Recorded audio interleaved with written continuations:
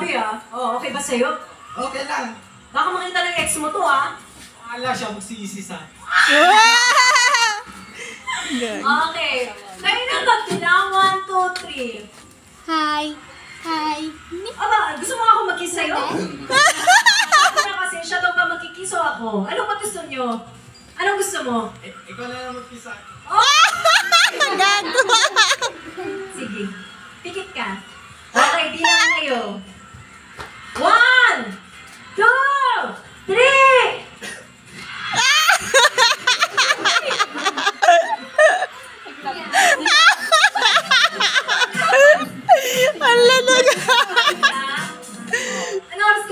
Well, 12, 12 ba ng hapon?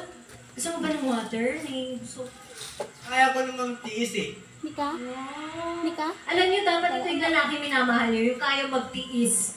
Tapos nakukontento. May nakukontento ka naman. Oo. Ay.